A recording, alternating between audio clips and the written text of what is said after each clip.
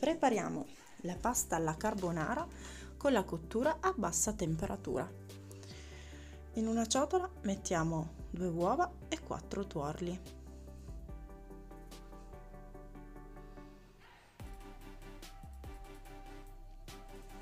Sbattiamo energicamente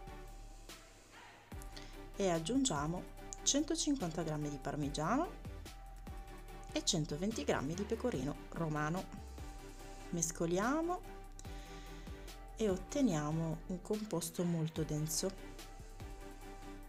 Lo terminiamo di mm, mescolare bene con un cucchiaio e lo trasferiamo in un sacchetto per sigillarlo sotto vuoto ovviamente ci siamo affidati alla qualità di Inkbird e alla sua sigillatrice riempiamo una pentola inseriamo il nostro Inkbird per la cottura a bassa temperatura e impostiamo la temperatura a 62 gradi e mezzo per circa 50 minuti. Di tanto in tanto mescolate il sacchetto con le mani pigiandolo un po' e ruotandolo.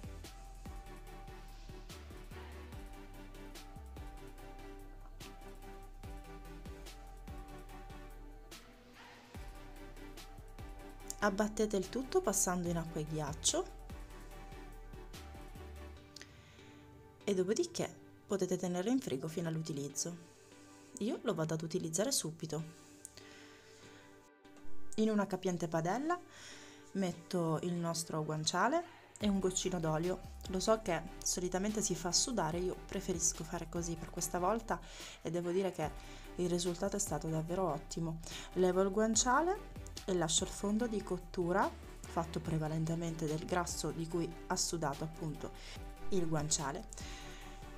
Su questo fondo salto la pasta, aggiungo la crema che ho ottenuto appunto con la cottura a bassa temperatura, aggiungo anche il guanciale croccante e manteco ancora con un mestolo d'acqua di cottura della pasta. Fuoco spento mi raccomando ed ecco pronta la nostra pasta alla carbonara, ovviamente in questa versione con cottura a bassa temperatura. Una spolverata di pepe ed ecco pronta la nostra bontà.